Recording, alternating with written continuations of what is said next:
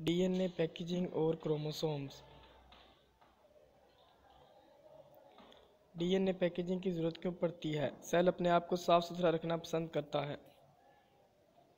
ये डीएनए को पैक करता है ताकि वो ज़्यादा जगह ना घेरे। अगर आप अपने जिस्म के तमाम डीएनए को खोल कर फैलाएँ तो ये एक शरिया दस, ज़रब दस मील तक बनता है, जो कि सूरज से सत्तर दूरे बनते हैं।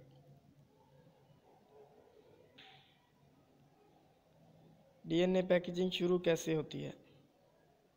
डीएनए की दोहरी लड़ियों वाली साख्त इंतहाई मनफी चार्ज रखने वाले फॉस्फेट पर मुश्तमिल होती है। तमाम मस्बत चार्ज मनफी चार्ज का मुकाबला करता है और सेल प्रोटीन बनाता है जिसे हिस्टोन कहते हैं। हिस्टोन मस्बत चार्ज प्रोटीन है जो डीएनए को लपेटता है। ये डीएनए को मस्बत और मनफी चार्ज को आपस में मिलाकर लपेटता है। दो लड़ियों वाला डीएनए आठ स्टोन के गिर न्यूक्लियोसोम तश्कील देता है, जो क्रोमेटिन पैकेजिंग का ब्लॉक बना रहा है। डीएनए मज़ीद लिपट कर न्यूक्लियोसोम के कोयल बनाता है, जिसे क्रोमेटिन फाइबर कहते हैं। न्यूक्लियोसोम जब स्टोन के गिर लिपटता है तो ये तार के अंदर मोतियों की तरह नज़र आता है।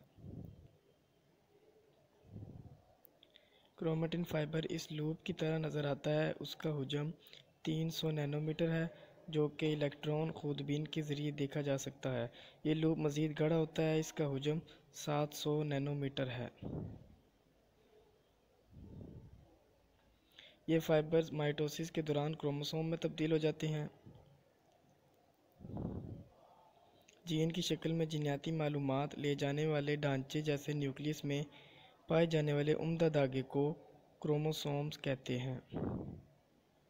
ये क्रोमोसोम है।